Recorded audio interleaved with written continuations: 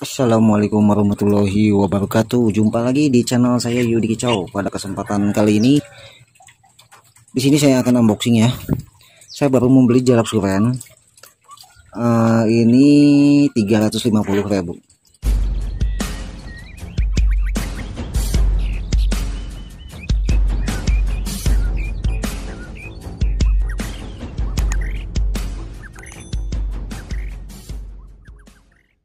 ini 350 ribu.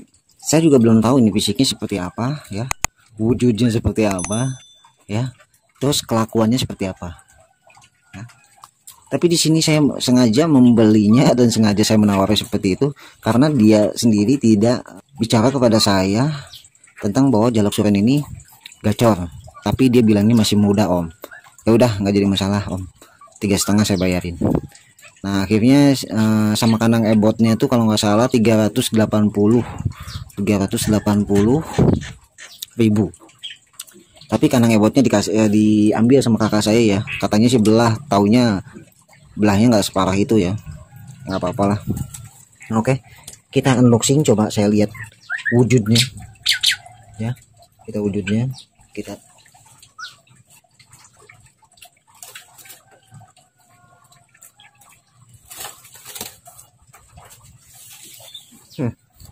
Jadi burungnya penampakannya seperti ini, ya. Tuh. Ini giras.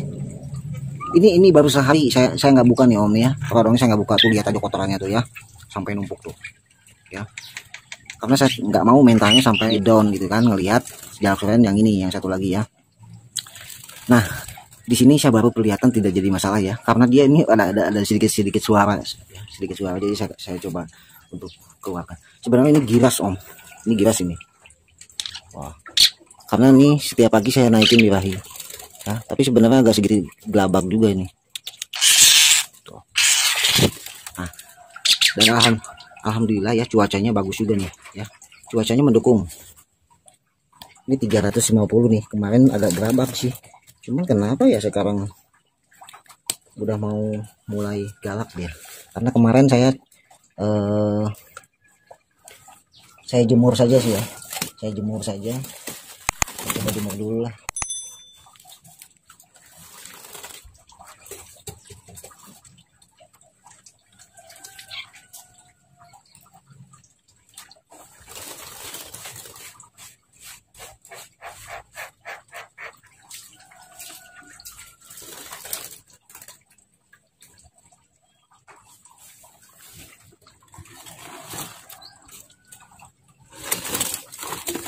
kita bersihkan dulu kandangnya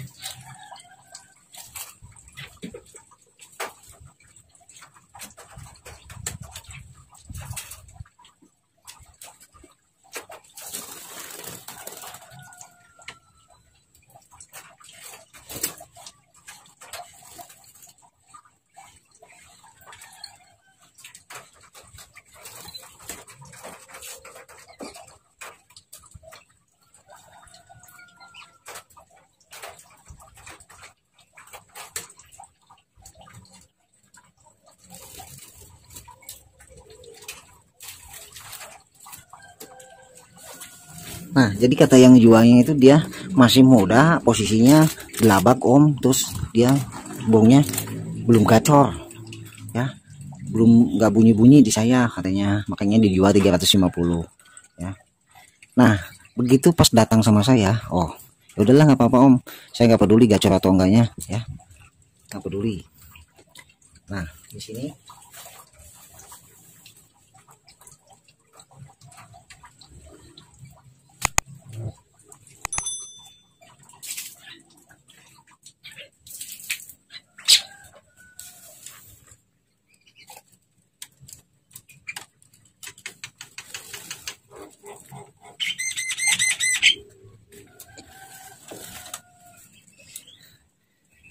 kebiasaan buruk dia ini. Kebiasaan buruk dia ini mandi dicepokin ini omnya. Kalau misalkan burung yang kebiasaan mandi di sini ini si airnya jangan terlalu banyak ya. biarkan dia terbiasa dulu. Nah di sini saya akan berbagi ya om bu ya. Jadi pas begitu saya beli nyampe ke rumah saya besok paginya tuh saya kasih ini om ya. Saya kasih ini pisang kepok. Pisang kepok saya kasih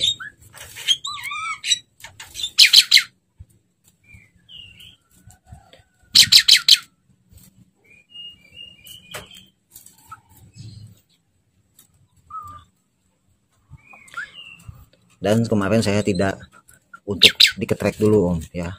Nah jadi saya kasih seperti ini om ya. Siapa tahu ini bisa jadi uh, contoh buat kamu semua. Saya kasih ini om ya. Kasih madu ya. Saya kasih madu. Seperti ini. Eh alhamdulillah pas begitu sorenya itu keluar isiannya. Ini auto rezeki nomplok ini om ya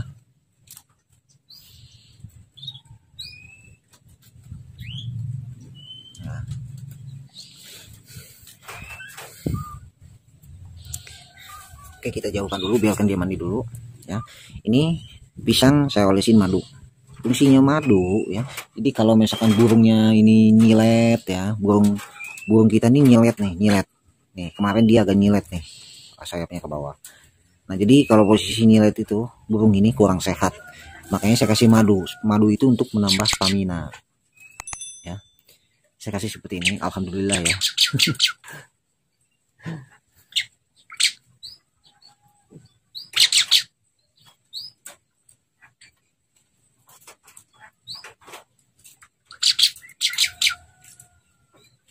oke lah nggak apa-apa. Kita sambil jemur saja ya. Kasih pisang kita jemur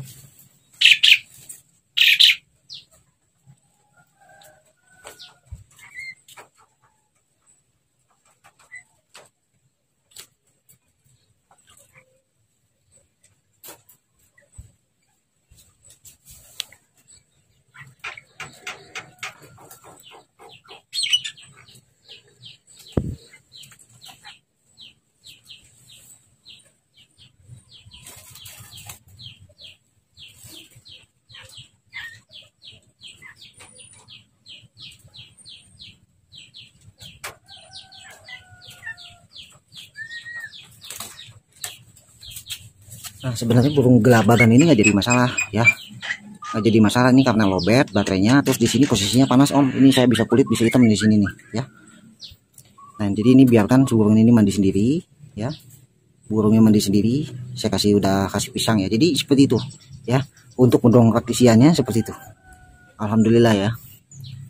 Kalau menurut saya ini rezeki nomplok ini bisa kejual ini 500 ribu juga.